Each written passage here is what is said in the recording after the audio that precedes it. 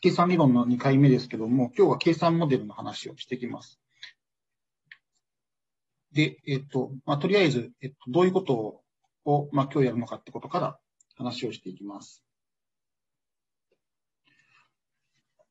前回も言ったんですけども、この計算理論という講義では、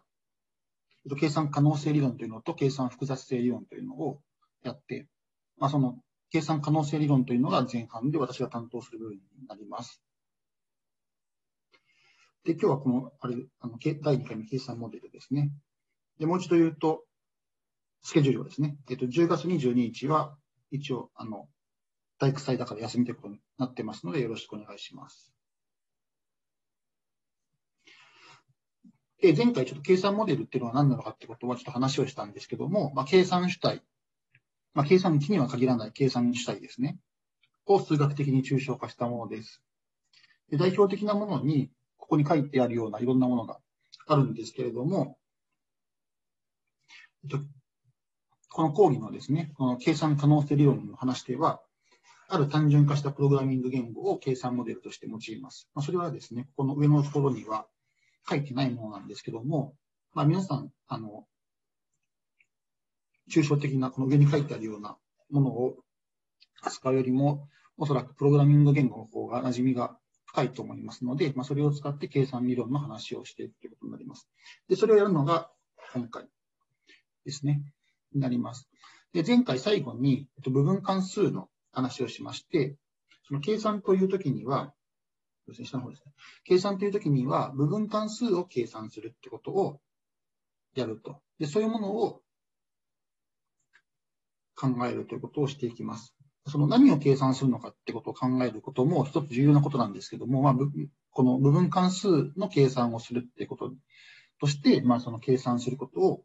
考えるということになります。でですね、この講義で扱う計算対象をもう一度言うと、部分関数です。で、部分関数は一応、k 個の自然数を入力として、1個の自然数を出力するようなものを今後考えます。で、k っていうのは、まあ、これも自然数で、えっ、と、自然数っていうのは0以上の整数のことです。で、下に書いてあるような、まあ、絵のような状況をイメージしてもらいたくって、例えばこの場合は、これ k が3の場合ですね。k が3の場合で3つ入力がありまして、1つ出力があるということですね。で、部分関数の記法としてはこの矢印、このような矢印を使うとということを前回、まあ、約束として決めました。ですね。で、分分関数は何だったかってことを一応まあ復習すると、まあ、これ復習ですね。まあ、そのあの関数みたいなものなんですけど、その、その F によって移る先がないようなものがあっても良いというのが部分関数でした。まあ、前回の絵を描いてくればよかったんですけども、えっ、と、まあ、そういうものだったということを思い出してください。はい。それで、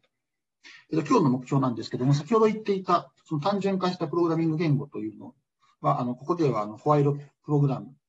というものなんですけども、まあ、それを紹介します。で、まあ、これを通して、まあ、この、これを一つの計算モデルの例として紹介します。で、これは、まあ、まあ、簡単なプログラミング言語だと思っていただいてよくて、非常にいろんな、こう、機能を削ぎ落とした、ある意味、その本質的な部分、本質的な部分だけを取り上げるような、えっと、プログラミング言語になります。で、まあ、それを使って、まあ、ちょっと、まあ、ある程度、その、このですね、ホワイトプログラムでプログラミングができないとちょっと困るので、まあ、それができるようになるようにしてほしいということですね。っていうのが今日の目標です。で、重要な概念として、計算可能性という概念が出てきますので、まあ、これを、まあ、しっかり理解するということになります。ここまでよろしいでしょうか？いいですか？ちょっと待ってくださいね。えっ、ー、と、この講義を始めるのに、このコメントスクリーンの方で、まあいいや。ちょっと。今日は10月の8日ですね。すいません。ちょっと日付を書いておかないと、後で見たときに忘れるので、ちょっとすいません。これをあらかじめやっておくべきだったんですけども、ですね。はい、今日は10月8日で、計算の第2回です。はい。すいません。で、ですね。はい。えっ、と、何かというと、あ、進めていくんですね。えっと、すいません。で、まずじゃあ、ホワイトプログラムっていうのは何なのかっていうことの話をしていきます。えっと、まあ、これ先ほど言った通り、この機能を削ぎ落として本質的な部分だけを残したプログラミング言語です。で、まあ、これは大体、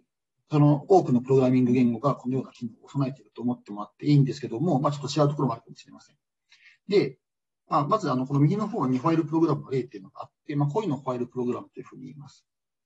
で、まあ、これは皆さん、あの、どんなことをするもんかなっていうのは読んでもらえば、まあ、わかるかな。なんか、ホワイル文、ホワイルっていうのがあって、まあ、あの、なんかエンドで終わってるかなという気がして、なんかまあ条件があって、中でなんかやってるという感じですね。で、まあこれちゃんと定義していく、まあちゃんとというか、ある程度形式的に定義していくんですけども、まあ本当に形式的にはやらないんですけどね。ある程度形式的にやっていくんですけども、えっ、と、まずですね、データ型とですね、えっ、と、使うデータはこう出演数しかありません。出演数だけは使います。だからなんかその文字列とかですね、なんて言うんだろう。不動小数点数とか、あるいはその負の、えー、と整数とかですね、そういうものはなくって、全部この自然数です。自然数しか扱えませんということになります。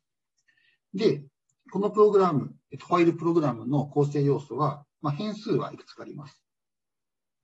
で、まあ、変数も、あの、x0、x1、x2 っていう感じで、あの、x っていう文字を使って、その下に、なんかそういう字がついてる。そういう字も自然数であるというような形のものだけを使うことにします。だからなんだろう。まあいいや。そうとになります。で、えっと、記号ですけど、どこをどう読めばいいのかわかんないんですけども、この記号で言ってるのは。まず、上の方は、このコンマで区切られてる一個一個は記号だと思ってください。このコロンイコールっていうのと、これセミコロンですね。あと、ホワイルと、ドゥと、エンド。まあ、こんだけ記号があります。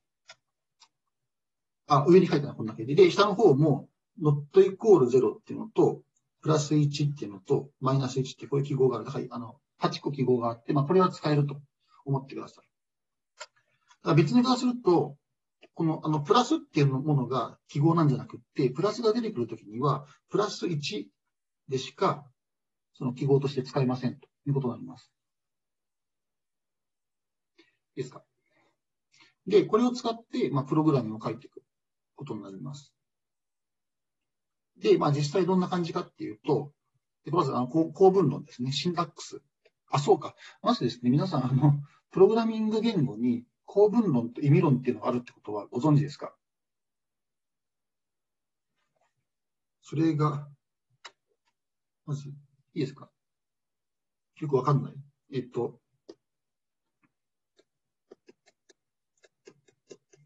その、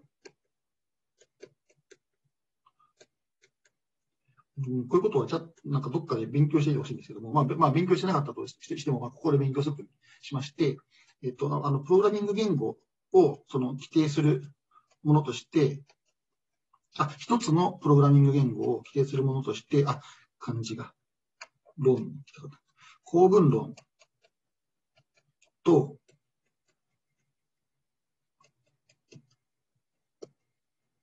意味論があります。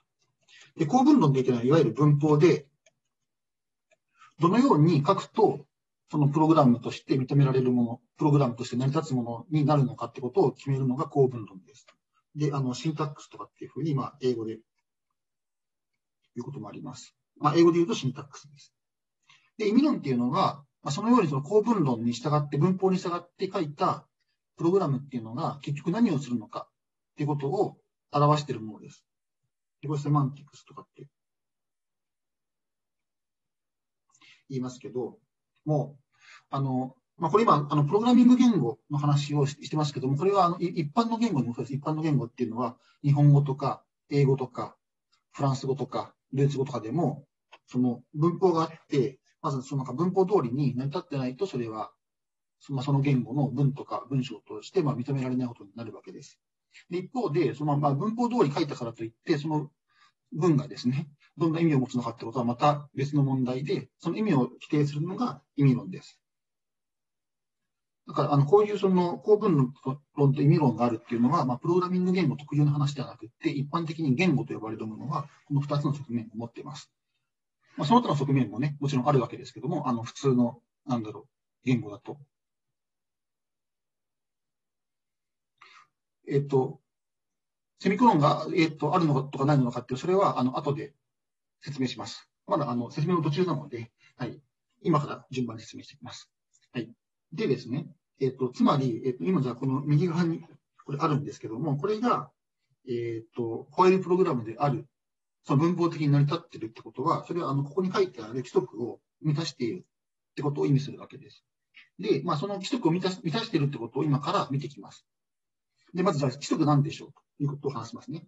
えっと、変数があったら、まず一番目、変数があったら、x というものがあったら、x コロンイコール x プラスと書いたら、これはホワイルプログラムです。で同じように、x コロンイコール x マイナス1と書いても、これもホワイルプログラムです。で、次ですね。二つホワイルプログラム PHP2 というのがあったときに、それをコロンでつなげた、あ、ごめんなさい、セミコロンでつなげたもの。これもホワイルプログラムです。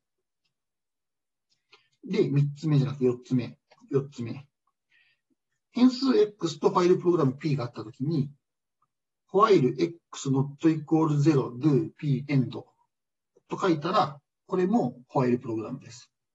で、このようにして作られるものだけがホワイルプログラムになります。で、これがそのまあ文法ですね。で、実際この右側に書いてある、まあ、先ほどホワイルプログラムであるといったものは、この規則に従って書かれた、これ全体として、これがホワイルプログラムです。で、なぜかってことを、まず見ていきましょう。で、えっ、と、これはですね、えっ、と、どうしようかな？どうしようかな？これはですね、どうしようかな？じゃあ、細かいところからていきますね。えっ、と、小さな部分から。例えば、えっ、と、x0、えっと、コロンイコール x0 プラス1書いてある部分があります。で、この部分は、この1番の規則から作られた、これホワイルプログラムなわけです。いいですか ?1 番の規則。で、まあ、その下にある x1 コロンイコール x-1 あっていうのも、は、この2番の規則に従って作られた、これホワイルプログラムになるわけです。いいですか？で、今、この2つのホワイルプログラムの間にセミコロンがあるわけです。だからこれセミコロンがあるので、このセミコロンでつなげられた、この今四角で囲んでいる部分ですね。この部分も、この、これは、えっと、3番の規則から、これホワイトプログラムになるわけです。いいですか？で、そうするとですね、で、その周りを、このホワイルエンド、ちょっとこれは、色を変えた方がよかった。見にくいんで、色変えまして、色、色、色変えまして、えっと、色変えまして、色変えまして、えっ、ー、と、なんだっけ。これですね。えっ、ー、と、このエンドまで。これですね。この部分、ホワイルなんとかかんとかドゥ、なんとかかんとかエンドっていうのは、あこの今、なんとかかんとか、はじめの部分ですね。これ x1 ノットイコール0。これは、まあ、x1 というまあ変数とノットイコール0がついていて、で、その中に、この、えっ、ー、と、ホワイルプログラムがあって、最後にエンドがあるっていうことになっているので、今このオレンジで囲んだ部分は、4番目の規則からホワイルプログラムです。いいですか？で、同じことを考えると、下のそのホワイルなんとかかんとかって書いてあるところでエンドで終わる部分。これもホワイルプログラムなわけです。いいですか？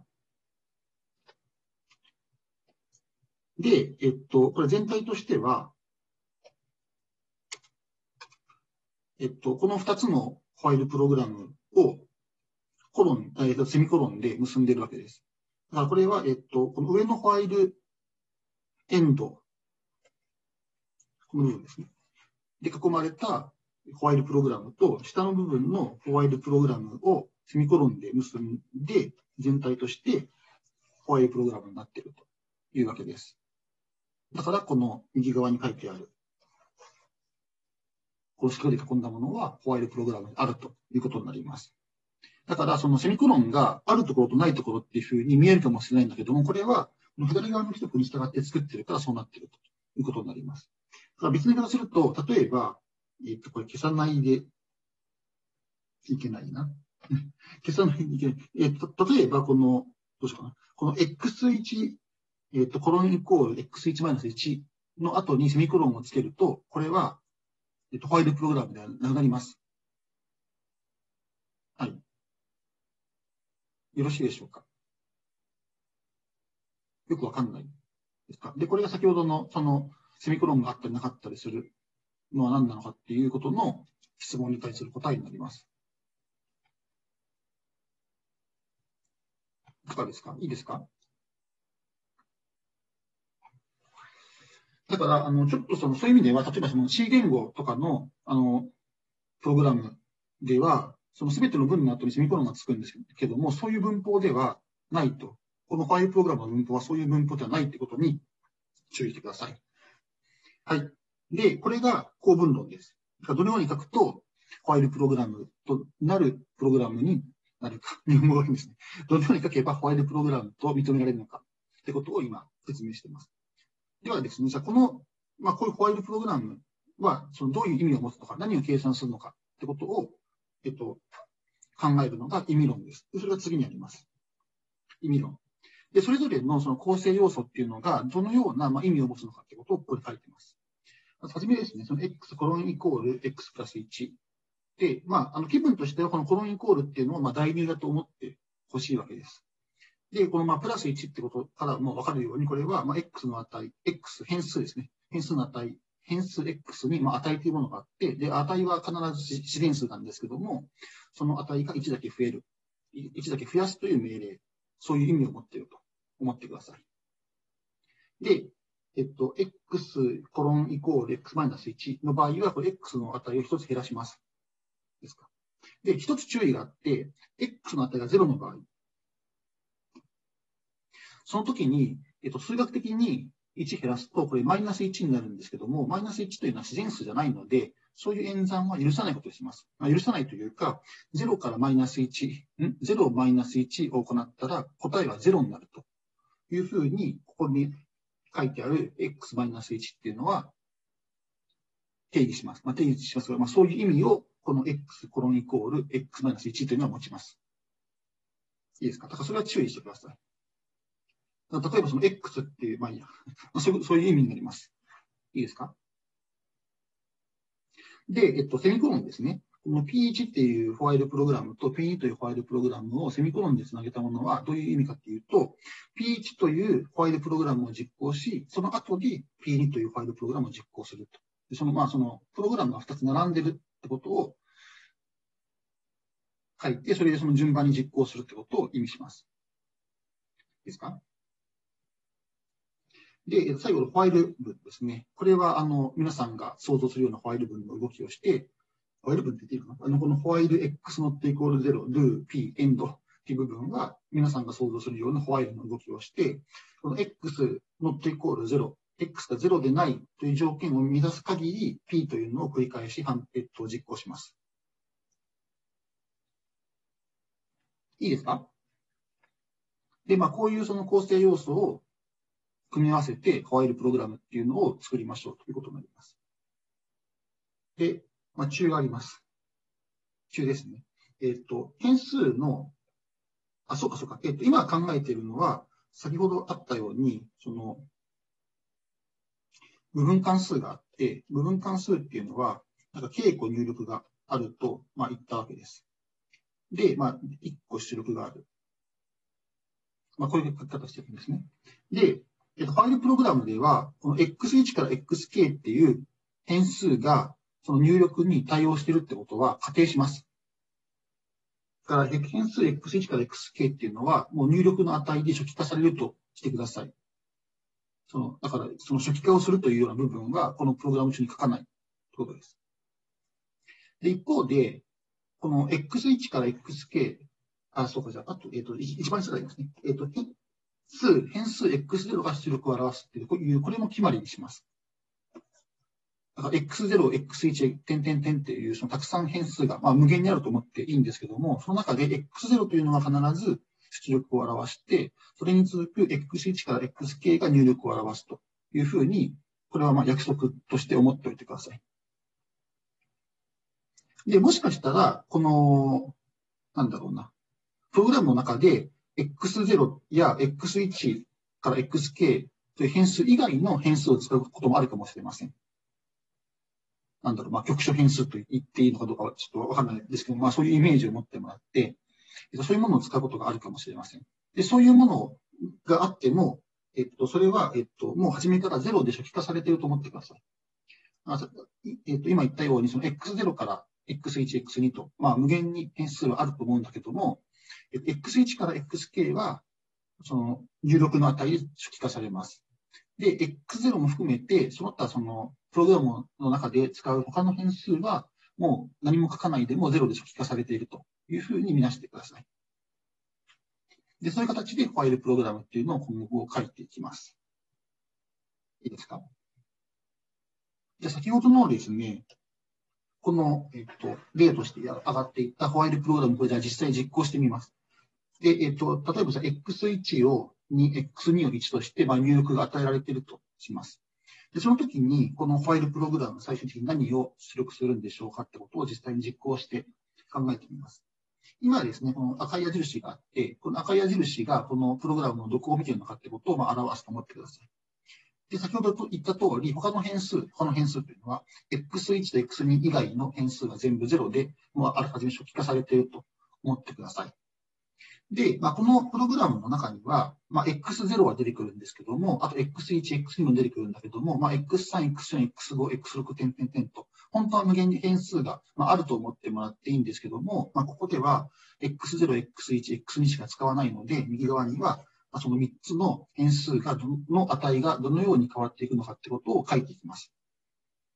はい。で、x0 ははじめ、もう0で出荷されてます。いいですか？で、ですね。まず、この初めの行のホワイル x1 not イコール0 do の部分を見ます。で、これは x1 が0じゃなかったら、下のファイルプログラムを実行するという話だったんですけども、今 x1 は2だから、これ0じゃありません。だから、このファイルプログラム実行します。で、実行しますね。で、そうすると、初めに実行するのは、x0 の、えっ、ー、と、コロンイコール x0 プラス1。だから x0 の値を1つ増やします。で、えっと、x0 になったら4から1つ増やすと、これ1になります。なりましたね。いいですか？で、次の行に移ります。x1 コロンイコール x-1 ですね。だから、えっと、x1 の値を1減らします。今、値が2ですから、1になります。なりました。で、まあ、エンドまで進むんだけども、で、そうすると、じゃあ、この、今の状態で、このホワイル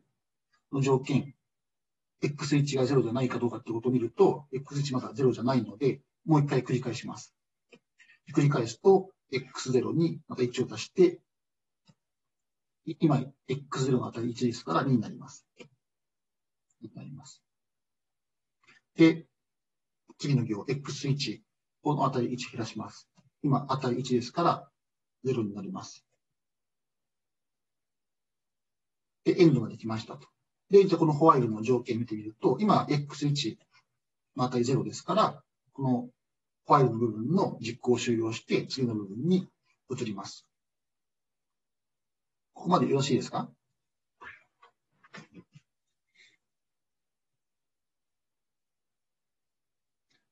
はい。で、まあ、次のところに移ると、今度はその x2 が0かどうかってことをまた見るわけです。今、x2 は1ですから0じゃないので、この下の部分のホワイルプログラムを実行します。で、実、あ、すみません。映すんだった。はい、実行します。すみません。で、まあ、実行するので、初めの部分見ると、x0 を1増やしますという命令です。あ、命令って部分になりますから、えっと、今、x0 の値は2ですから、1増やして3になります。3になります。で、次、x2 の値1減らします。今、x2 の値1ですから、0になります。なりました。で、まあ、エンドまで進んで、でまたこのホワイルのところの条件、何とか考えると、x2 イコール0になってますから、これで実行終了すると。おしまいです。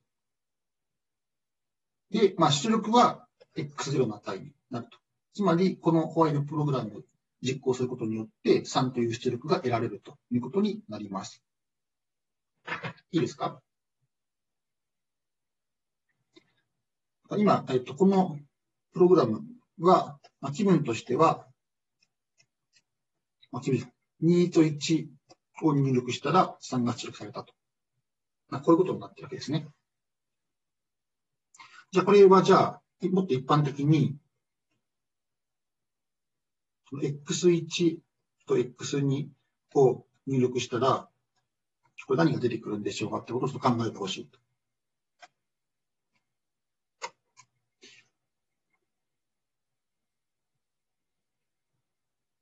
ちょっとすいませんね。うん、これはなんか、ペンタブの汚れかな。どうでしょう？何か、えっ、ー、と、何が出てくるでしょう？となります、ね。x1 プラス x2。ですね。そうなんですね。これは、そうなりますね。まあ、実際これは、えっ、ー、と、関数 f、x1、x2 イコール x1 プラス x2 を計算するということになります。だからこれは、その、まあ、この、この関数を計算するホワイルプログラムというふうにまあ言えるわけです。ちょっと、あの、全く関係ないことをお聞きしますけど、皆さん、あの、この今、私がまるで囲んだ部分に赤い点って見えますか？赤い点見えます？あ、見えるんですね。ってことは、これ何なんだろうな？あ、そうか。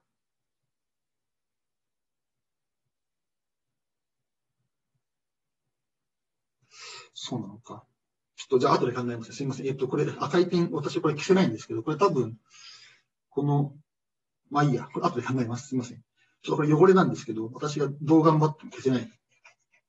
消せないですね。どう頑張っても消せないです。まあいいや、それはじゃあ置いといて、ちょっと今それが知りたかったですね。えー、それで、こういうふうにですね、この関数を計算するっていうことをホワイトプログラムはします。で、それをちょっとちゃんと言葉にするのが、ホワイト計算可能性という概念で、じゃあ、えっと、ちょっとこのページが終わったら休憩しますね。あ、このページは、えっと、この、えっと、説が終わったら、セクションが終わったら休憩しますね。えっと、部分関数、その、軽変数部分関数があったときに、F があったときに、F がホワイル計算可能であると言ったら、次の条件を満たす、軽入力ホワイルプログラム P が存在することを意味します。で、どんな条件かっていうと、これですね。If に x1 から xk を入れたときに、下矢印。これは定義されている。ということですね。定義されているということでした。定義されているんだったら、p はこの定義されている値 fx1 点点点 xk を出力する。で一方で、上矢印、えっと、定義されていない場合ですね。には、p は停止しない。これですね、停止しない。という条件を満たすような P というホワイルプログラムがあるときに F はホワイル計算可能であると言います。で、まあ別に言い方すると P というホワイルプログラムが F を計算するという言い方もします。ですか？さっきの例より。この fx1、x2 イコール x1、x2、x1 プラス x2 という、関数は上の言葉に従えばホワイル計算可能ということになります。いいですかで、まあ、これはその2つの自然数 x1、x2 があったときに、その和を計算するということが、ホワイルプログラムを使ってできるということをまあ言ってるわけですけども、他にもいろんなことがこのホワイルプログラムでできます。で、その例を今日はいくつか見ていきましょうということになります。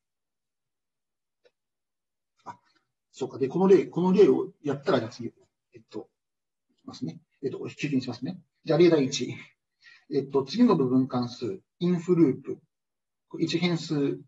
部分関数、インフループはホワイル計算可能か。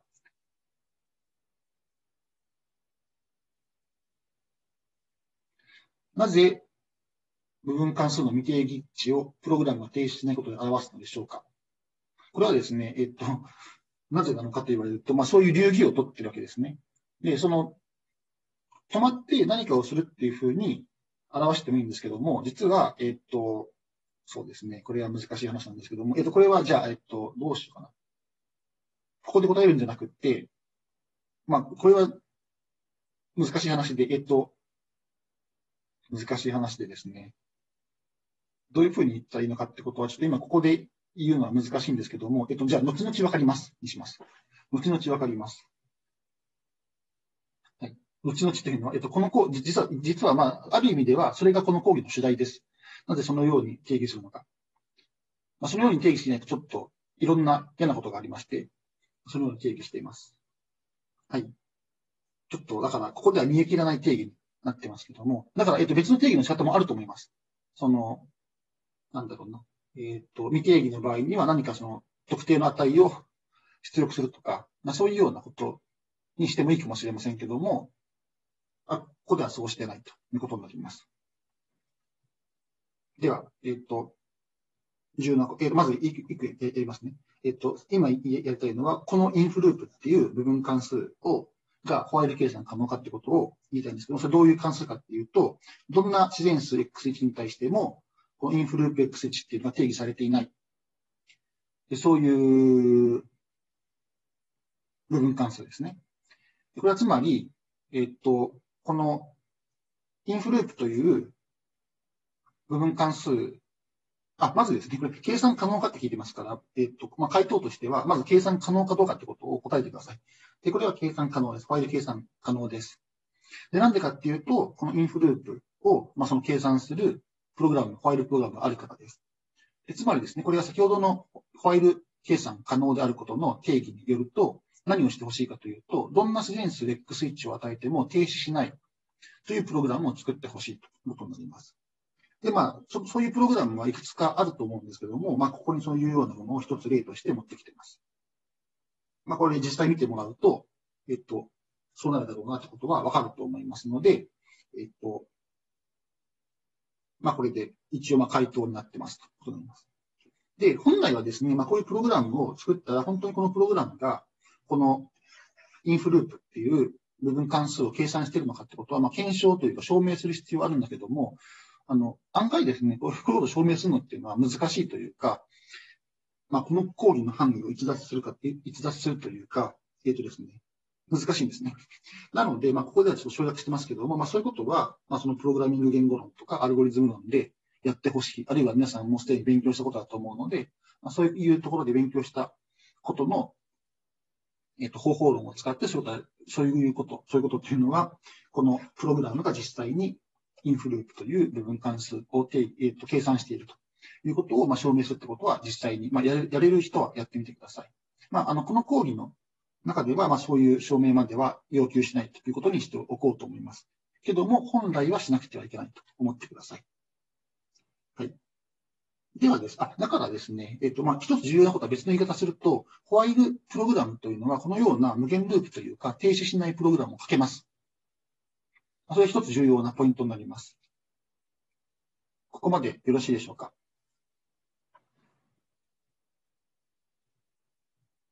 はい。じゃあですね、えっ、と、ちょっと、えっ、と、じゃあ休憩の時間にしますね。じゃあ、えっ、と、休憩、じゃあ、えっ、とですね、3分ですね。3, 3分休憩しますので、3分経ったらまた、えっ、と、復帰したいと思います。よろしくお願いします。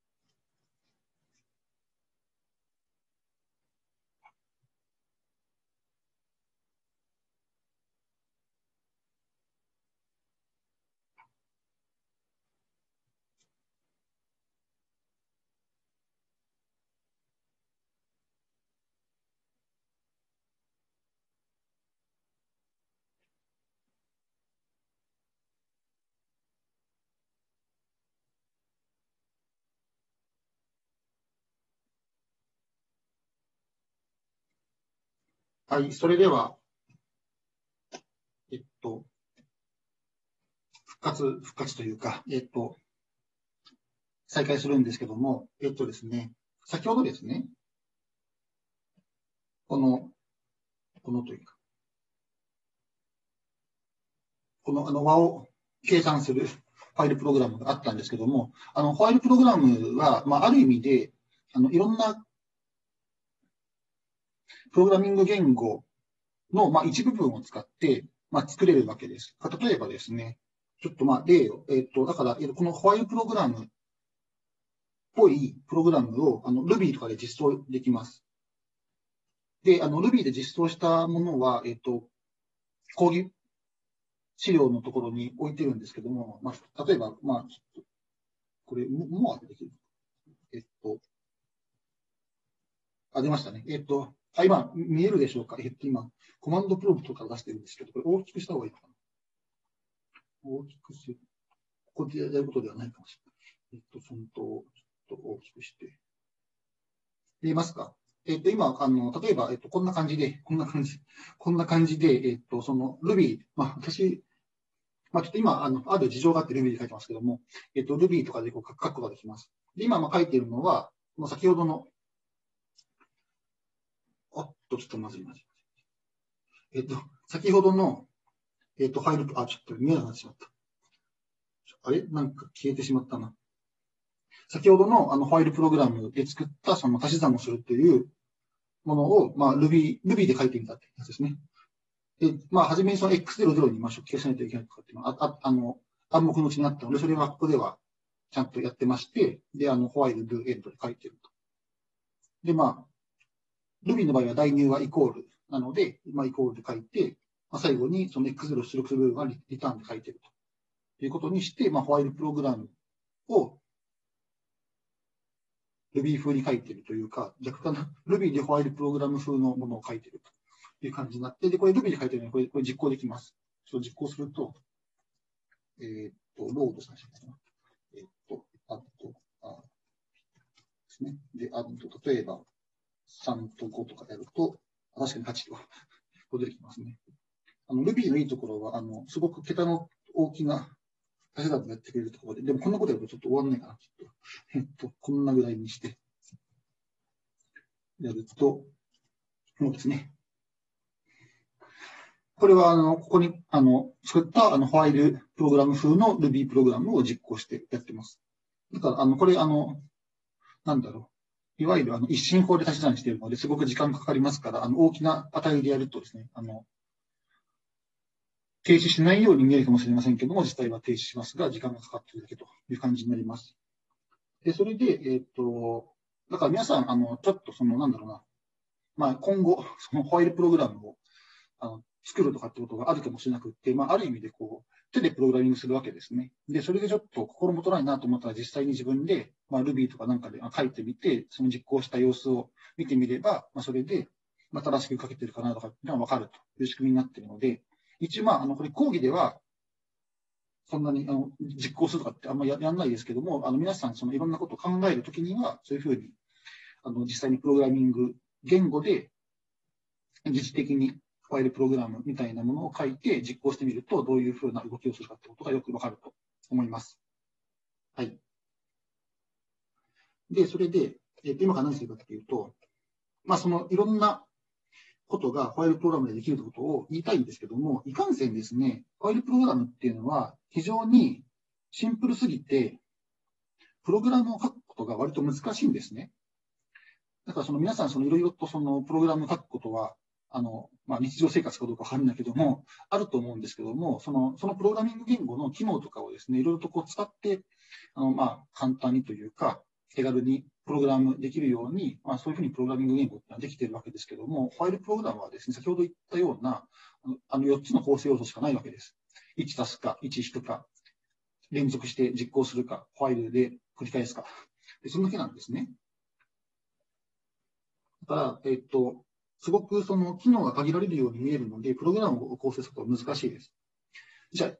あ、なんでそんなプログラミング言語を考えるのかっていうと、シンプルだからいろんなことを証明しやすいんです。このプログラムの動きとか、このプログラムの性質とかっていうことを証明するのは非常に簡単になります。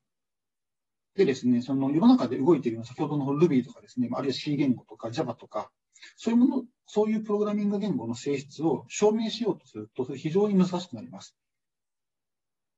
複雑だから。だから、まあ、この講義は、その、まあ、数学的な側面から計算というものを捉えようというふうに思っているので、いろいろとまあ証明とかしたいわけですけども、そういう時には、こういうまあそのシンプルな言語を使う方が本質が見えやすいということになります。でしかも、ここにその、あの、このシン、えっ、ー、と、ファイルプログラムでは、まあ、先ほど挙げた Ruby とか、まあ、C 言語とか Java の、まあ、一部分の機能を持っているというふうに思えるので、まあ、それによって、まあ、その、Ruby とか C 言語とか Java とか、そういうものの、まあ、一面は捉えられるだろうというふうになるわけです。だから、今から何をしたいいのかっていうと、まあ、こういうそのシンプルな言語で証明をするってことは、まあ、今日はやらないですけども、今後の講義では行っていくんですけども、それでどのようにプログラムを作るのかっていうことを考えると、ちょっと気が遠くなるような話になってしまうので、それをもう少し簡単に行うような機能拡張をしたいと思います。これは今から行うことですね。欲しい機能をホワイルプログラムとして書く方法を与えます。で、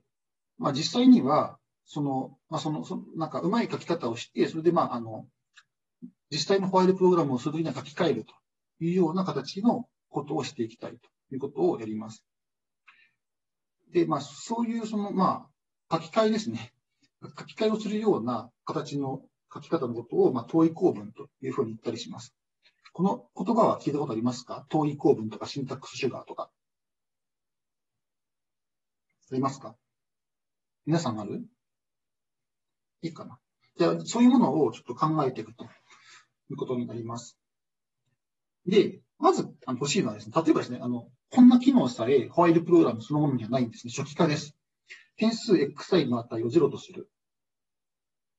っていうのを、例えば、まあ、そのホワイルプログラムの中に xi コロンイコール0と書くことで、えっと、本来は実現したい。だけども、まあ、そういう機能はホワイルプログラムにないので、例えば、まあ、その xi イコール、あえっと、コロンイコール0と書いたら、それは、この右のようなホワイルプログラムで置き換えれば、ホワイルプログラムとして実現できますというふうに考えてください。で、別に言い方すると、その x1、あ、xi コロンイコール0というのは、この右側のホワイルプログラムを意味するシンタックスシュガーであるというふうに見なすわけです。で、右側は何かっていうと、xi が0でない限り、xi の値を1減らすというわけです。で、これをすることで、この右側に書いてある、えっ、ー、と、ファイルプログラムを実行した後には、xi の値が0になります。ということで、その xi を0とするという機能を、この右側のファイルプログラムで実現できます。よろしいですか？だから今後そのファイルプログラム風のプログラムを書いて、この xi イコール0、えっと、コロンイコール0っていう文を書くことがあるんですけども、それを見たら、それは本来はホワイルプログラムでは許されないので、右のように書き換えてファイルプログラムとするというふうに思ってください。わかりますか？いいですか？じゃあ今はですね、この xi を0とするという、そういう初期化を考えたんですけども、他の初期化もあり得るわけです。例えば、の xi の値を3とする。まあ、これ初期化だけには限らず、定数を代入するというような場合です。で、それは、まあ、どのようにファイルプログラムで実現できるかっていうと、まず、えっと、xi を0にして、その後、xi に1を足すというのを3回繰り返す。ってことをすればいいです。いいですか？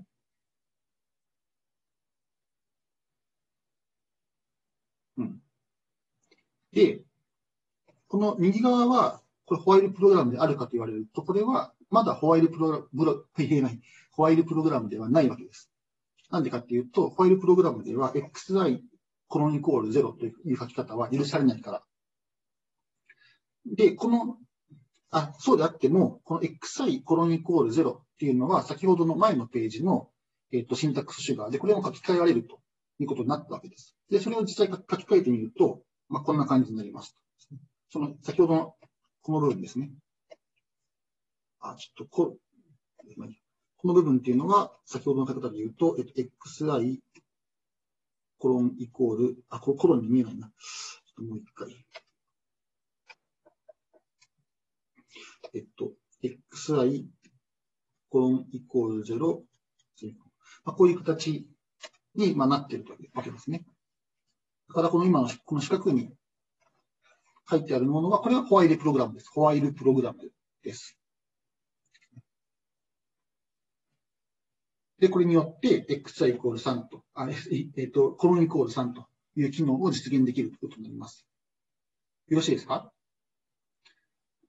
だから同じようにすれば、これ3じゃなくて、4とか5とか36とか、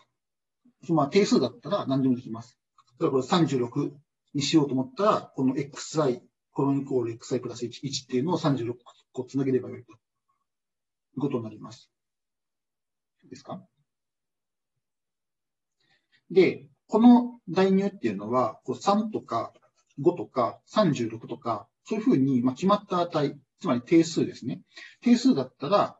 このようにその3個つなげるとか、並べるとか、36個並べるってことはできるんですけども、その数がいくつかわかんない場合。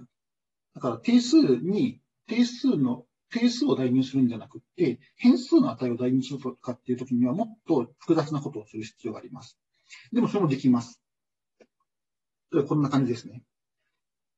その、えー、っと、こんな感じだっていうと、変数 xy の値を別の変数 xj に代入する、代入する機能ですね。xj コロンイコール xi とか、まあ、こういうものを実現しようと思ったら、まあ、右のような感じの書き方をすればいいです。で、これは、まあ、これをじっと眺めて、これで分かってもらえれば、まあ、簡単なんですけども、どうでしょう？ちょっとこれ説明した方がいいでしょうかね。あ、わかるわかると言われてますね。説明いらないですか？えっ、と、重要なのは、えっ、とですね、あ、ここで、あの、重要というか、あの、今、あの、こういうふうな書き換えにおいて、新しいことをしていることが1個あって、何かっていうと、ここでは、その y とか y プライムっていう、えっ、と、新しい変数を用意してます。で、これ、あの、y とか y プライムっていうのは、このプログラム全体に出てきてない変数をこの書き換えをするときには、新しく用意して使いましょうということを意味しています。いいですか？いいですか？で、まあ、この右側のプログラムが実際何をやってるかっていうと、この初めのこのホワイルの部分っていうのは、えっと、xi の値を y と y' に複製してます。コピーしてます。それ書きましょうかね。この初めの部分っていうのは、じめの部分は、xi の値を y と y' にコピーするということをやってます。まあ、なんでコピーするかっていうと、まあ、この代入によって xi 自体が壊れないようにしてます。xi にが保持している、持っている値を壊さないようにするために、えっと、コピーしています。ただ、これコピーしてるときに xi の値を1ずつ減らしてますから、このコピーにおいては xi が最終的にこれ0になります。このコピーの後には。で、それを復活させるのが一番下の行です。その xi の値を、えっと、y' プライムの値と同じにする。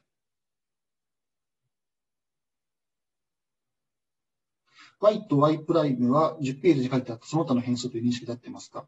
えっ、ー、と、その他の変数の一部になります。はい。そうですね。そうなります。はい。で、もう一度言うと、えっ、ー、と、この一番下の while は、えっ、ー、と、xy に y' プライムの値を入れると。ということをしています。このこの書き方は良くなかったかな。ちょっと、ちょっと、えっ、と、行が合わないんで、えっ、と、xi に y' プライムの値を入れると。で、その上の行は、同じように xj に、今度は y の値を、値を入れるとということをしています。で、まあ、これによって、この、この2つのですね、y 分を動かすことによって、最終的に y と y' の値は0になります。けども、まあ、ある意味でこの y と y' というのは、この、えっと、代入のためだけに用意した変数なので、まあ、それが壊れてしまっても別にま問題はないということです。で、まあ、最終的に xi の値と、えっと、xj の値が同じになって、xj に、えっと、y の、えっと、xi の値が入るというのが重要です。で、それをちゃんとやるためには、はじめに xj の値を0にしておく必要があります。で、これは先ほど言った通り、このえっと、コロンイコール0という書き方はホワイルプログラムではできないので、この部分はまた先ほどのあのシンタックス手段を使ってホワイルプログラムに書き換える必要があります。で、その書き換えを行うと全体としてこの右側に書いてあるものがホワイルプログラムになります。よろしいですか？で、これを見ていただいてわかるように、この代入するという、この基本的な機能だけでホワイルプログラムに書こうとすると、まあ、とてつもないことになるわけですね。で、まあ、代入するっていうのはすごく基本的な構成要素なので、本当にそのいろんなことをですね、ホワイルプログラムでやっていこうとすると、もう記述がですね、すごく長くなるってことが、まあ、ここからも容易に想像できるかなという気はするんですね。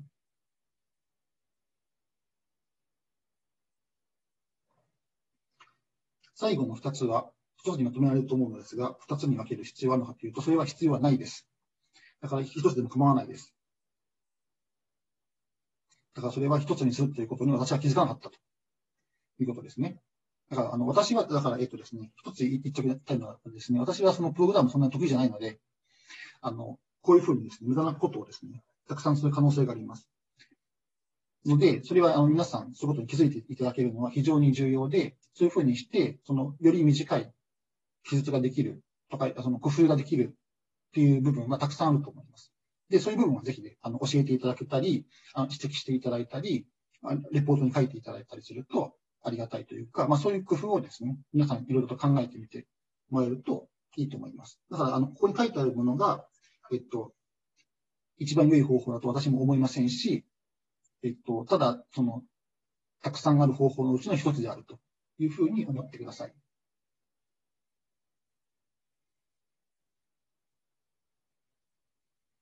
いいでしょうか？だから、まあ、ある意味、その、ここで重要なのは、この代入という機能がホワイルプログラムで実現できるということです。で、今後ですね、よくやりたいのはですね、関数の呼び出しです。例えば先ほどですね、その x 対 x、えっと、2つ自然数を入力して、その和を出力するっていうホワイルプログラムを作りました。だからそういうものを、まあ、こうそのえ、そういう機能を add xi, xj と書くことにしましょうと。で、もうこれこれ自体はファイルプログラムに書けるわけです。で、その時に別のファイルプログラムの中でこれを再利用したい。で、再利用して、例えば x3 コロンイコール add x4 x5 と書きたいとします。で、これはどうしましょうっていうのが、これ考えたい問題です。で、これも実はホワイトプログラムでできますということです。こういう関数呼び出しですね。で、これはどのようにするのかということを言うと、こうですね。こういうふうにしています。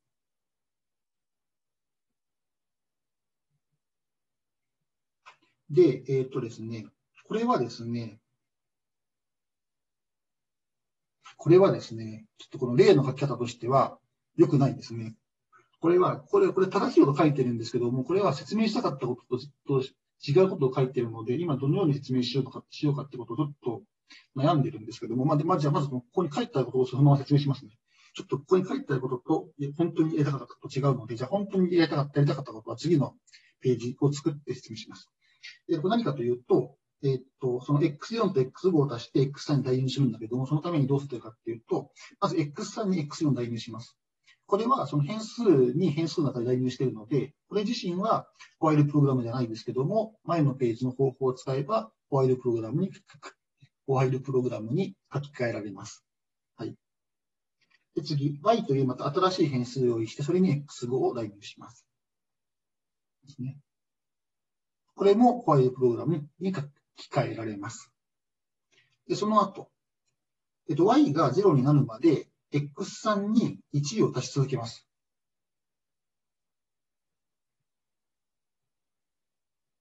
ですかで、x3 の値ははじめ x4 と等しかったわけです。で、それに y の値分だけ、えっと、1を足します。だからこれによって最終的に x3 の値というのが x4 プラス x5 になるということです。でつまり、それによって、この x3 コロンイコール、あと x4、x5 という機能が作れるということになります。いいですか？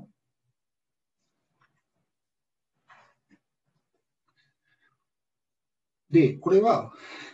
ここの右側に書きたかったのは、本当はこれではなくて、これは困ったな。これは困ったな。これは、書きたかったことは全然違うので、ちょっと次のページに新しいページを作ってて、作るかな、新しいページ。新しいページの聞き方あったんですけど、新しいページの聞き方。これだとか。あ、違うな。これかな。これセッティングだな。これかな。これはページ。違うな。なんかど、どっかに新しいページを作る機能があるんですけど、ちょっとそれが、これかな、ページ操作。挿入だ。できたできた。直後、1ページですね。えっ、とですね。あ、できた。数ページできましたね。えー、本当は何をしたかったかということを今から書きます。先ほどですね、その足し算という、えっ、と、機能を実現するホワイトプログラムを先ほど初めに作りました。で、それは、えっと、x1、x2 が入力されたときに、x0 を出力するっていう、まあ、そういうホワイトプログラムだったわけです。で、今やりたかったのは何かっていうと、その別のホワイトプログラムがあって、まあ、これはいくつかこう、入力があって、一つ出力が出てくるのは、こういうプログラムなわけですね。えっと、X0。まあ、こういうなんか他のファイルプログラムがあって、その中でこの add っていうのを使いたい場合にはどうするかってことを書きたかったんですね。で、その場合には、まあ、その、このなんか、えっと、プログラムの中のどこかで、この add っていうのを使いたいっていうところが出てくるんですけども、その場合には、まあ、その add に対する入力と、まあ、出力があるわけです。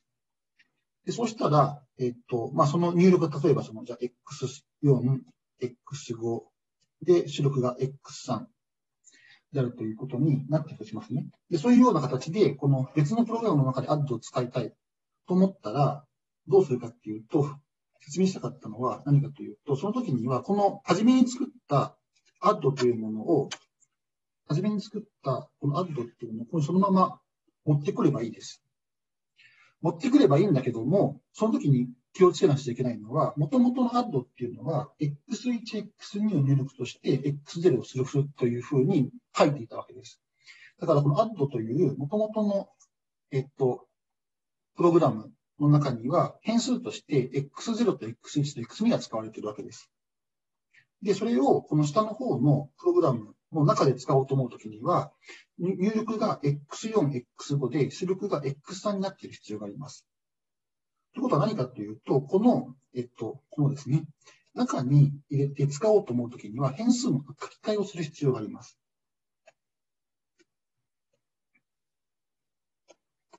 で、それをちゃんとやらなきゃいけなくて、つまりその変数の書き換えをまず行います。書き換え。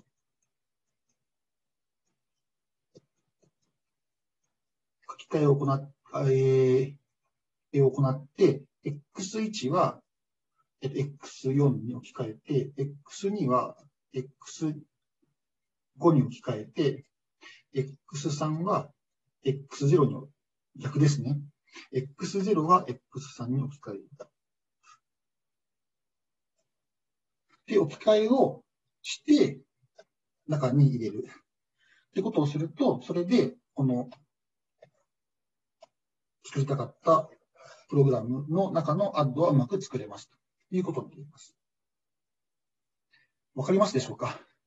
ちょっと、そういう例を前のページで書くべきだったんだけども、なぜか違うことを書いていて、今焦ったんですけども、いいでしょうか？でそうすると、まあ、こういうその風にですね、もともと何か、えっと、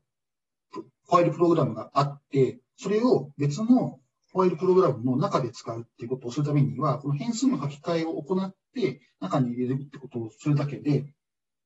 実現ができます。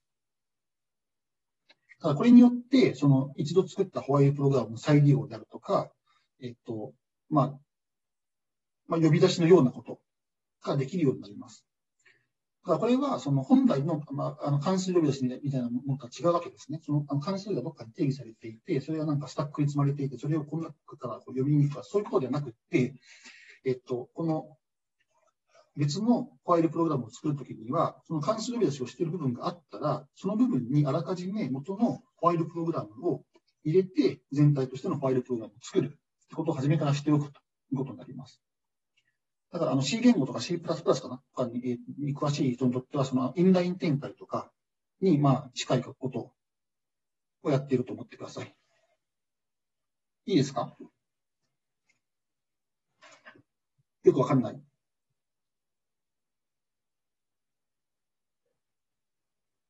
いいんですかね？で、1ページ戻るんですけども、わかんないかな？大丈夫かな？で、えっと、1ページに戻る。で、そのようにやってるので、この書き方というか、先ほどのですね、その変数を書き換えて中に入れるっていう方法で、この関数呼び出しみたいなことを実現しているので、これによって関数の再起再起呼び出しはできません。これは注意です。これは注意します。何かっていうと、この中に入れられるのは、もう他のところどこかで定義されている関数だけです。だから自分自身をこの中で呼び出そうとかっていう、そういうトリックは、この方法では使えないわけです。いいですか？最近とか私好きなんですけども、だからその最近を使って、そのプログラムを書くことは、ファイルプログラムではできないということになります。これはいいですか？ただし、ただし、今ですね、最近を使ってホワイルプログラムは書けないと言ったんですけども、実はそれを書く方法があります。で、それをどのように書くのかっていう話は、実はこの計算可能性の講義の流れの一番最後でやる再帰定理というのがあるんですけども、それに話、その話につながっていきます。で、その話をやると、実際このファイルプログラムで再起を、再起呼び出しみたいなことをするってことができるようになります。で、その、まあ、その再起ができるっていうのは、こういうその計算モデルの話の中で割と重要な、あえっ、ー、と、事実になっていて、まあ、それは、この計算可能性の、えっ、ー、と、講義の最後の方でやるということになります。ここまでいいでしょうか？ですかね。ちょっともう少し、えっと、条件分岐の話をして、ちょっとまたもう一回休憩しますね。えっと、じゃあ、えっと、やっぱりですね、if 文がないとですね、あの、プログラム書けないんですよ。書きにくいんですよ。で、その話が、この if, then, end という問い構文になります。で、まあ、条件としては、あの、ファイル分の時と同じように、x not equal 0だけを、まあ、許すことにします。今のところ。で、何かというと、x が0だったら p を実行するという機能を実現したい。で、これは右のようなファイルプログラムに書けます。で、どうなってるかっていうと、また別の変数 y を用意します。で、y に x の値を代入します。で、ファイル y not equal 0とします。そうすると、まあ、x が0じゃなかったら y も0じゃないので実行します。でも、ファイル分だから、これ y の値が、例えばこれ100とかだったら100回実行しそうかなと思うわけです。けども、何をするかっていうと、このファイル分の中で p を1回実行したら y を0にします。そうすることによって2回目の実行を行わないということにするわけです。そうすると、y、つまり x が0じゃなかったら p を1回だけ実行して終了するということができるようになります。よろしいですか？でこれによって、まあ、if then end という書き方ができるようになるということになります。ですか？この代入するっていうのは、またこれもあのファイルプログラムじゃないので、先ほどのように書き換える必要があります。はい。じゃあ次ですね。じゃあ、まあ、if then end が書けたら、まあ、if then else も書きたいかなと思うので、まあ、それもやってみましょうと。つまり、x が0じゃなかったら p1 を実行し、x が0だったら p2 を実行するというふうにその選択ができるようにしたいということですね。でそれは、この右側のように書きます。書いております。でまあ、何かというと、まあ、この y という、まあ、また別の変数を持ってきます。でこれは今1に代入 1, 1としてます。1を代入してます。で、はじめの部分、これは普通の先ほどの前のページの if then end です。x が0じゃなかったら p1 を実行します。ですね。で、P1 を実行したら Y を0にします。この部分が、その、この前の部分が、この if 前までの部分を表しているような感じですね。で、次に else の方をどう書くかと考えるわけです。で、その時に y を使います。If y not equal 0前になっています。y が0じゃなかったら p2 を実行するという形になります。y が0じゃないのは、まあ、いつかっていうと、はじめに y は1にしてますから、この、えっと、この3行目にある y を0に、y に0を在入するってことを実行しなかったら、y は0じゃないという条件が正しくなります。別に言い方すると、この if 分の、この p1 を実行したら、その下の部分は実行されなくなります。で、上の if のところが実行されなかったら、下の部分は必ず実行されるということになって、この y を使って、その選択ができるということになります。つまりこれによって if then else が実現できるということになります。よろしいでしょうか？早いかないいですかではですね、そうですね。じゃあ、えっ、ー、と、あと残りの部分で、えっ、ー、と、どんな部分関数がワイル計算可能なのかってことの例を見ていくので、じゃあまたちょっと3分長いので2分でいいですか ?2 分。じゃあ2分休憩しましょう。2分後に再開します。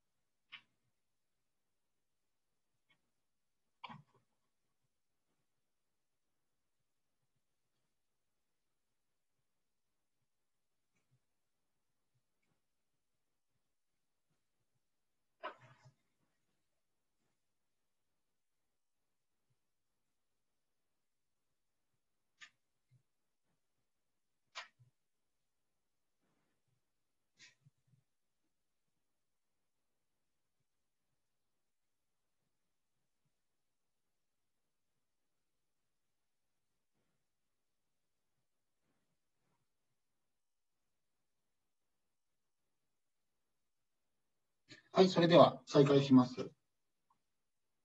ろしいでしょうか。えっ、と、ファイル計算可能な部分部分関数の例って話をしていくんですけども、もう一度そのファイル計算可能っていうのは何だったかってことの、えっ、と、復習をすると、F がファイル計算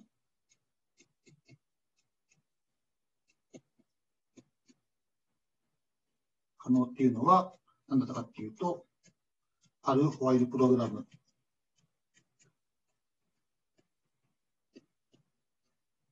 P が存在して、えっと、任意の入力。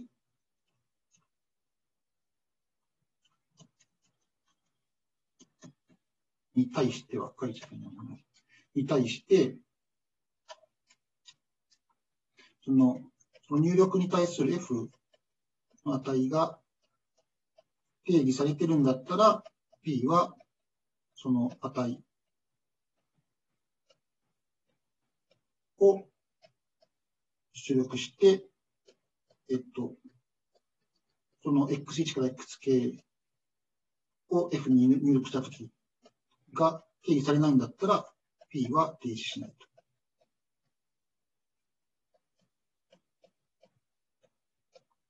いうことですね。で、まあそういうその、どういう F、部分関数がファイル計算可能なのかってことを、まあ見ていきます。じゃあまずですね、こういうやつですね。えっ、と、これ掛け算ですね。えっ、と、x1、x2 のに対して、丸と x1、x2 は、その x1、x2 の積を返す。という、まあ、この部分関数が計算、ファイル計算可能でしょうかと言われると、これ計算可能です。実際、次のプログラム、これですね。ここに書いてあるのが、丸と計算しますと書いてますね。えっと、x1 が0でない限り、えっと、x0 に x2 を足します。で、それを x0 とします。で、x1 は1ずつ減らしていきます。つまり、えっと、x0 に x2 を x1 回足すってことを、このプログラムでは行っています。えっと、はじめ、はじめというか、あの、先ほど、前の方で言った通り、x0 は値、あの、もう0で初期化、初期化されていると思ってますから、まあ、これで正しいプログラムになるということになります。よろしいでしょうか。ただですね、この、ここにその X0 に addX0X2 を代入するっていうのがあって、まあ、これ自身はファイルプログラムではないので、これをファイルプログラムにしようと思ったら、先ほどのような書き換えをする必要があります。で、まあ、それをすればファイルプログラムできるので、ファイル計算可能であるという結論が得られます。いいですか？で、まあ、実際それを書き換えてあげると、まあ、こんな感じになります。っていうのが、えっと、ファイルプログラムで書いた、この掛け算、乗算の計算法です。これその書き換えただけという感じですね。うん、なんか目が痛くなってきますよね。はい。いいでしょうか。あ、そうか、さっきの、じゃあ実際にあの、書いたの、書いたの。えっと、もう一度ちょっとじゃあ Ruby でやってみると、時間があるかな。えー、っと、一旦切って、えー、っと、あるとかな。あ、こんな感じですね。これ、これ全部書いてますね。全部書いてますね。で全部書いたらまあこんな感じになるということになります。で、まあ、えっと、実行してみると、えっと、例えば、あえっと、ロードじゃあ実行してみると、えっ、と、マルと、例えば、どうしようかな、3、9、27かなあ、できましたね。よかったよかった。なんかこのなんかもうホ、ホワイルしかないプログラム書いてると、だんだん頭が痛くなってきて、本当に正しいことやってるのかなっていうふうに不安になってきますけども、まあ不安になったらこういうふうに自分でプログラム書いて実行してみると、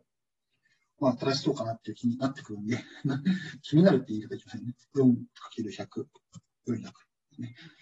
なので、まあ、こういうふうにして皆さんも試してみてください。確認してみてください。はい。で、えー、っと、これがその一つ目の例でした。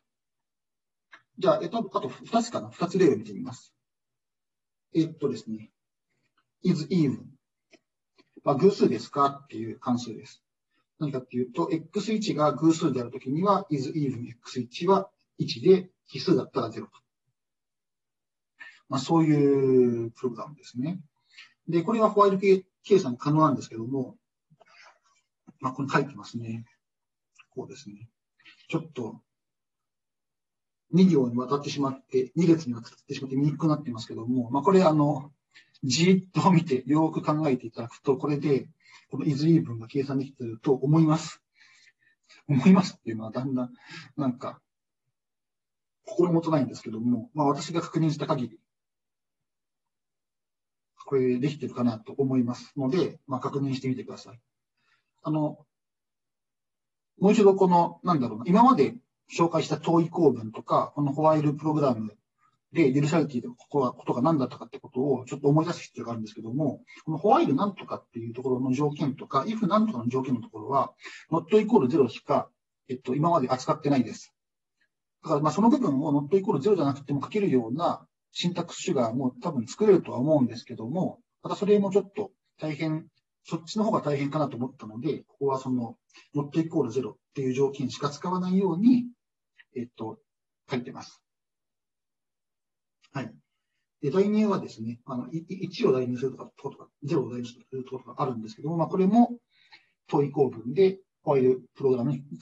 機械えられるということになりますね。はい。足し算に引き算しているところは、これ、あの、マイナス1かプラス1だけですね。これは、もうファイルプログラムそのものになっています。だから、まあ、これ自身は、あの、問い構文使ってますから、まだホワイルプログラムではないですけども、そこら辺のシンタックスシュガーを全部書き換えれば、ホワイルプログラムになります。だから、ホワイル計算可能であるという結論が得られます。よろしいでしょうか？よろしいでしょうか？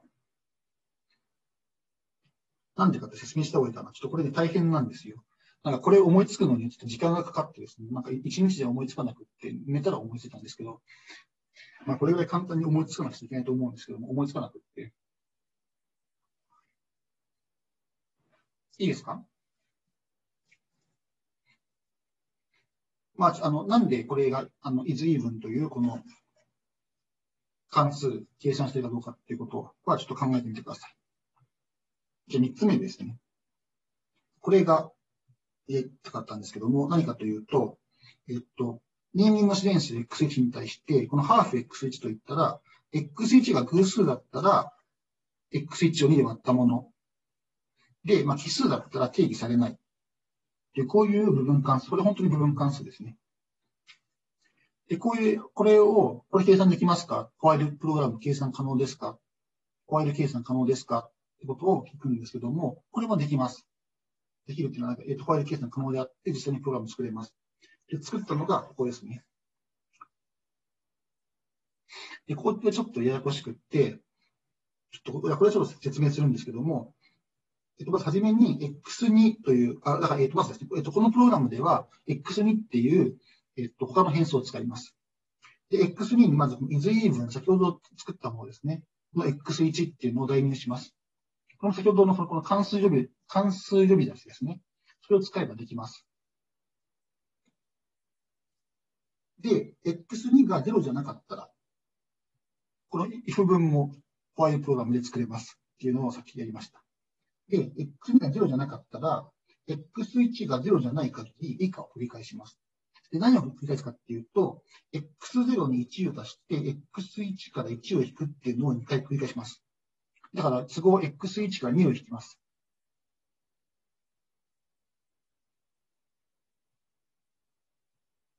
X2 が0じゃないっていうのはどういうことかっていうと、えっと、x2 は is even x1 ですから、x2 が0じゃないということは、x2 は1です。x2 は偶数であるあるってことを表しています。だから x2 は偶数だったら、x1 が0でない限り、x0 に1を足して、x1 から2を引きます。ですか？で、それで終わりになります。で、else で x2 が1だったら、つまり x1 が奇数だったら、インフループ、先ほどのその無限ループですね、を実行します。で、これによって、x1 が奇数であるときには停止しないということができます。n 部です。ですか？x0 に1をた1を足すために x1 から2を引いてますから、x0 として出力される値は x1 の半分になります。という形で、このプログラムは上に書いた halfx1 という部分関数の計算を行っていくことになります。いいですか？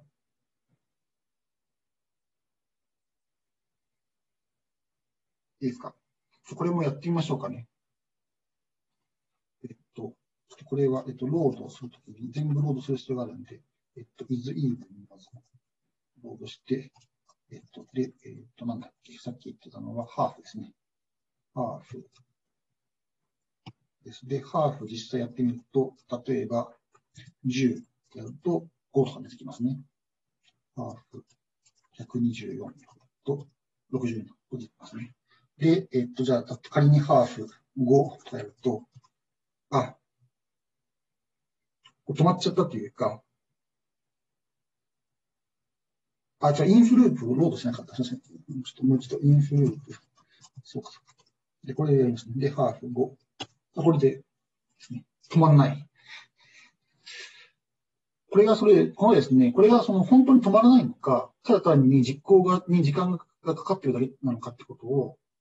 まあ、わかんないんですね。まあ、これがわかんないっていうのは、まあ、この講義の実はテーマなんですけども、ちょっと、えっと、まあ、ちょ、ちょい中断して。えっと、まあ、今のは、まあ、の、止まらないということになっています。実際。あの、そのインフループの方に行っちゃってることになりますけども、えっと、まあ、そう、このような形で、このハーフっていう部分関数もファイルプログラムで計算できるということになります。で、このハーフはあの今後使うかもしれないです。はい。で、最後に注意で、部分関数 F をがファイル計算可能であるときに、F を計算するファイルプログラムっていうのは無限に存在します。だから先ほどですね、先、あの、その代入の話もありましたけども、実現する方法は一つではないわけです。まあ、例えばですね、この下にこの足し算を実現する、計算するファイルプログラムを挙げてまして、例えば、あの、左の方は一番初めに挙げた例です。で、右は何かっていうと、右の方も、えっと、足し算を計算するんですけども、えっと、これは何かっていうと、左の、右のプログラムは何かっていうと、左のプログラムがありまして、そのまま、最後に意味のない部分をただ付け加えてるだけ。でそういうプログラムです。で、まあ、これであっても、同じようにこの足し算を計算するという機能は変わりません。で、まあ、その無駄なことをするっていうのをいくつでもつけられるので、無限に存在するってことはわかります。まあ、これはあの簡単な注意ですけども、まあ、この性質が今後重要になる可能性がありますので、ここでその注意として紹介しておきました。よろしいでしょうか？じゃあ、えっ、と、最後、まとめをしたいと思います。今日はそのファイルプログラムという単純化したプログラミング言語を紹介して、まあ、これでその計算を行うっていうことをどのように行うのかっていうことの例をご紹介しました。特にまあプログラミングをどのようにするのかっていう話を少ししました。で、重要な概念として、ファイル計算可能という概念を紹介しました。質問にもあったように、その計算、えっと、未定義なところをなんで停止しないことで表すのかっていうことは実は重要で、まあ、それは今後の講義の中で、その回答が出てくるということになります。じゃあ、来週何するかというと、今日はホワイルプログラムっていうのを紹介したんですけども、次回はまた別の計算モデルを紹介します。ま、それも簡単なプログラミング言語になるんですけども、それを紹介します。で、別のプログラミング言語とか別の計算モデルを与えると、その計算モデルによって何が計算可能なのかっていう話がまた別個に出てきます。だから、計算モデルによって計算可能性っていうものが別に定義されるわけですね。今日はホワイトだったので、ホワイト計算可能性の話をしたんだけども、来週はまた別の計算モデルで別の計算可能性の話をして、それがホワイル計算可能であることとどう同じなのか、どう違うのかってことの話をしていきます。はい。では、残りの時間は、えっと、終わる前に、えっと、匿名のコメントを書いて出していってください。